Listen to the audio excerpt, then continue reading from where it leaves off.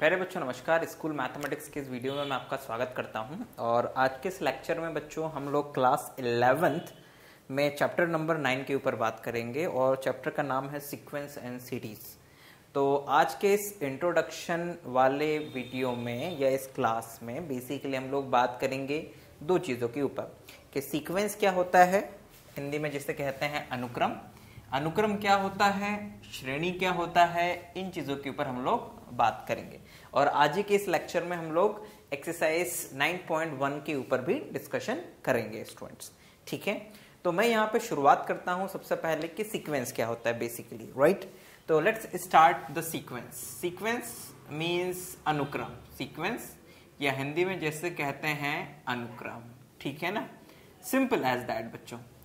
आप लोगों ने पहले चैप्टर्स में, शुरुआत के चैप्टर्स में फ़ंक्शन के विषय में पढ़ा हुआ है कि फ़ंक्शन एक मैपिंग होती है, जिसमें एक डोमेन होता है और एक को डोमेन होता है राइट right? और डोमेन की करस्पॉन्डिंग जो एलिमेंट्स होते हैं, उनकी करस्पॉन्डिंग हमें को डोमेन में कुछ ना कुछ मिलता है।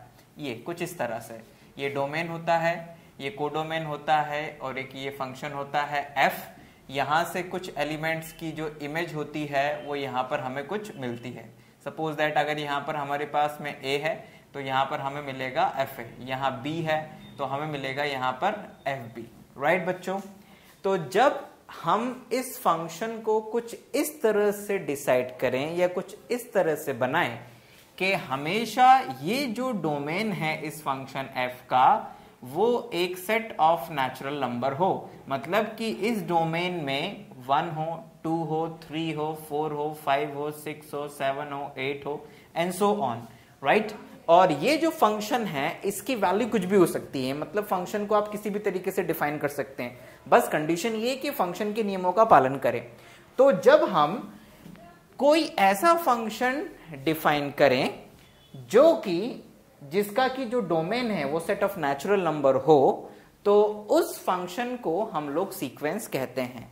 इट मीन्स दैट के sequence sequence is a function whose domain is set of natural number right, student, natural number यानी कि जो अनुक्रम होता है, वो एक ऐसा फलन होता है, जिसका कि डोमेन यानी कि प्रांत जो होता है, वो प्राकृत संख्याओं का एक समुच्चय होता है। और डोमेन का जो एनवा पद होता है, या फिर हम ऐसे कहें कि वो जो सीक्वेंस होता है, उसको इस तरह से डिफाइन किया जाता है and define S F N is equals to right F N sorry इसको इस तरह से नहीं, इसको ऐसे लिखेंगे and define as A N is equals to F N such that N belongs to capital N student simple as that यानी कि उस सीक्वेंस का जो एनथ टर्म है जिसको कि हम लोग ए एन से प्रदर्शित करते हैं this is the nth term तो ये जो एनथ टर्म होता है this is equals to F N such that N belongs to capital N तो ये तो बच्चों हो गई सीक्वेंस की डेफिनेशन राइट right, बच्चों? अब सीक्वेंस के जो एलिमेंट्स हैं वो कैसे रहेंगे? वो डिपेंड करता है कि जो फ़ंक्शन है वो किस तरह से डिफाइन किया हुआ है. वो उसको कई तरीके से डिफाइन किया जा सकता है राइट right, स्टूडेंट्स यहाँ पर सीक्वेंस का जो एनथ टर्म है उसको ए एन से प्रदर्शित किया जाएगा। तो इसका मतलब ये हुआ कि जो सीक्वेंस होगा उस सीक्वेंस का जो प्रथम पद होगा ए वन वो एफ़ वन के इक्वल होगा। जो सेकेंड टर्म होगा ए टू वो एफ़ टू के इक्वल होगा। जो ए थ्री होगा वो एफ़ थ्री के इक्वल होगा। एंड सो ऑन जो ए एन होगा वो एफ़ एन के इक्वल होगा। राइट right, बच्चों? तो this is the sequence right इसको शॉर्ट में हम इस तरह से भी लिखते हैं A one A two A three and A N and so on ये आगे तक भी जाता रहता है। और जो भी इस फ़ंक्शन यानी जो भी इस सीक्वेंस में ए एन की डेफिनेशन होगी, वो उसकी मदद से आप इनके टर्म्स को फाइंड कर सकते हैं स्टूडेंट्स ठीक है ना? फॉर एग्ज़ाम्पल मान लीजिए कि हमने लिखा, क्या लिखा? कि A N is equals to A N is equals to N into N plus one right हमने इस तरह से लिख दिया। कि जो ए एन है, वो N into N plus one की मदद से मिलेगा। तो इसका मतलब ये हुआ कि अगर इस डेफिनेशन का यूज़ करके हम ए वन बनाएँगे तो ए वन बराबर बनेगा वन इंटू टू यानी कि टू जब हम ए टू बनाएँगे तो वो बनेगा टू इंटू थ्री यानी कि देखो, यहाँ टू रखोगे और यहाँ टू प्लस वन थ्री हो जाएगा। तो टू इंटू थ्री यानी कि सिक्स फिर आप ए थ्री बनाओगे तो this is equal to three into four यानी कि ट्वेल्व बन जाएगा एंड सो ऑन आप आगे भी बना सकते हो। तो ये सीक्वेंस के पद आ गए। टर्म्स आ गए। First term second term third term and so on nth term ये एनथ टर्म होगा इस सीक्वेंस का। बात समझ में आ गई बच्चों? राइट तो इट डिपेंड्स कि हम सीक्वेंस को किस तरह से डिफाइन कर रहे हैं। आप कई तरीके से सीक्वेंस को डिफाइन कर सकते हो। फॉर एग्ज़ाम्पल हमने एक सीक्वेंस लिया ए एन जिसमें कि ए एन यानी कि एनथ टर्म जो है, वो है N upon sorry it's N upon N plus one ये सीक्वेंस का हमने एनथ टर्म ले लिया। ये उसका एनथ टर्म है। तो इसका मतलब ये हुआ कि a1 बराबर कितना आएगा? A1 बराबर आएगा one upon one plus one यानी कि one upon two A two बराबर आएगा one not one it's a two upon three A three बराबर आएगा three upon four and so on इस तरह से आप ए फोर निकाल सकते हैं ए फाइव निकाल सकते हैं और आगे की टर्म्स भी निकाल सकते हैं। तो इसे कहा जाता है बच्चों, अनुक्रम, जिसमें कि हम एक निश्चित परिभाषा द्वारा, जिसको कि हम फलन कहते हैं, के द्वारा उस अनुक्रम के प्रत्येक पद को निकाल सकते हैं। और इसमें जो डोमेन होता है, वो हमेशा सेट ऑफ़ नेचुरल नंबर होता है। यानी कि n की जगह पर हमेशा हम one two three four five रखकर क्या निकालेंगे? उस सीक्वेंस के पदों को या अनुक्रम के पदों को निकालेंगे। ठीक है ना? और ये उसको इस तरह से प्रदर्शित किया जाता है। दिस इज़ द सीक्वेंस अब सीक्वेंस जो होता है, वो दो तरीके के होते हैं। यानी कि इसके types types of sequence right तो टाइप ऑफ़ सीक्वेंस में दो टाइप के सीक्वेंस होते हैं। एक फाइनाइट और एक होता है दिस इज़ वन एंड दूसरा होता है infinite right this is infinite अब फाइनाइट क्या होता है?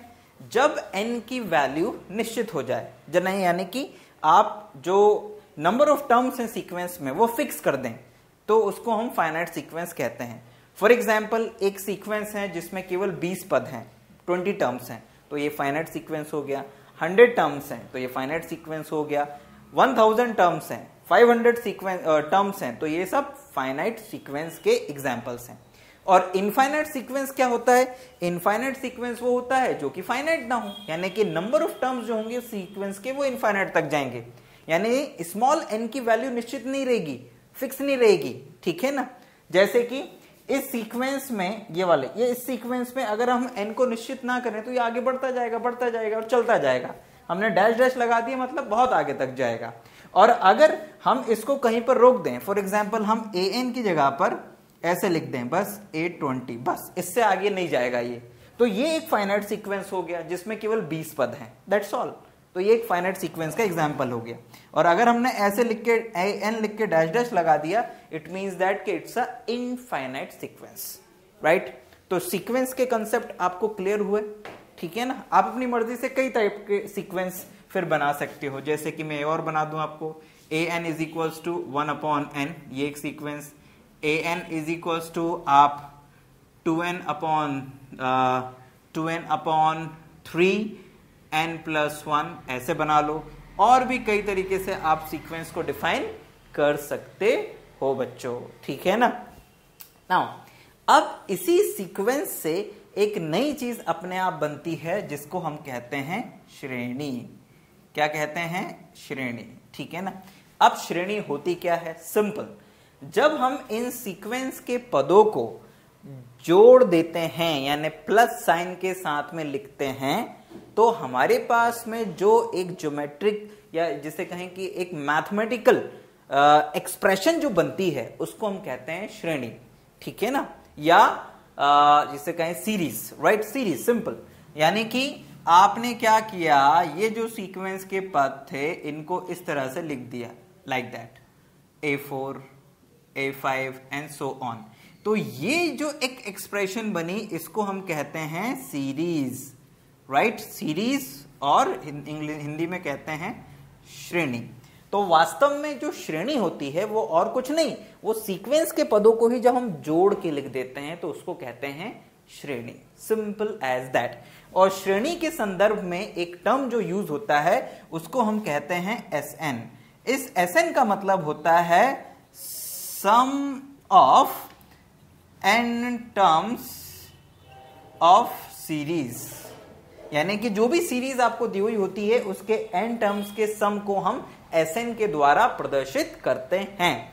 साथ में, ये जो सीरीज़ होती है इस सीरीज़ को हम इस तरह से भी लिख सकते हैं, एक समेशन साइन के सिंबल के द्वारा। कैसे?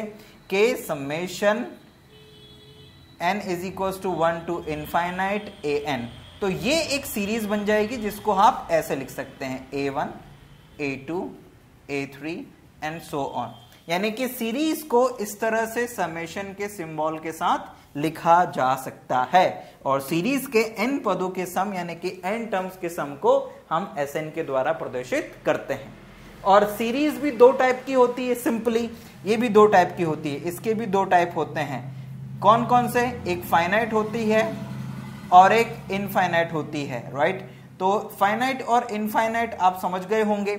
अगर सीरीज़ में नंबर ऑफ़ टर्म्स फाइनाइट है यानी कि वो सीरीज़ 20 पदों तक जाती है 100 तक या हज़ार तक या एक लाख तक। यानी स्मॉल एन की वैल्यू जब फाइनाइट हो जाए तो उसको हम कहेंगे finite series otherwise infinite series कहेंगे स्टूडेंट्स ठीक है ना? और यहाँ पर एक चीज़ और मैं जो बताना चाह रहा था, आपको बता दूँ कि जो सीक्वेंस होता है, उसको एक और सिंबल के द्वारा प्रदर्शित किया जाता है। यूँ, ये करली ब्रैकेट में आप उसको ए एन और N is equal to one to infinite इस तरह से भी लिख सकते हैं। ये सीक्वेंस को लिखने का तरीका है, जिसमें कि ये एक इनफाइनाइट सीक्वेंस को प्रदर्शित करता है राइट ए एन उसका एनथ टर्म है, जो N is equal to one से लेके इनफाइनाइट तक जाता है। तो सीक्वेंस एक इनफाइनाइट सीक्वेंस को प्रदर्शित करने का ये तरीका, एक इनफाइनाइट सीरीज़ को प्रदर्शित करने का ये तरीका है। राइट बच्चों? तो यहाँ पर मैंने आपको सीक्वेंस और सीरीज़ के बेसिक टर्मिनोलॉजी और दोनों में जो डिफरेंस होता है, उसको बताया। ठीक है? आई होप कि ये आपको क्लियर हुआ होगा। अब मैं इस चैप्टर में आगे बढ़ता हूँ बच्चों, और इसके बाद में हम लोग अब बात करेंगे किसके ऊपर? कुछ क्वेश्चंस के ऊपर। यानी बेसिकली मैं आपको और कहीं पर नहीं, मैं आपको 9.1 एक्सरसाइज की ओर लेके जा रहा हूँ। ठीक है? तो लेट्स कम विथ 9.1 एक्सरसाइज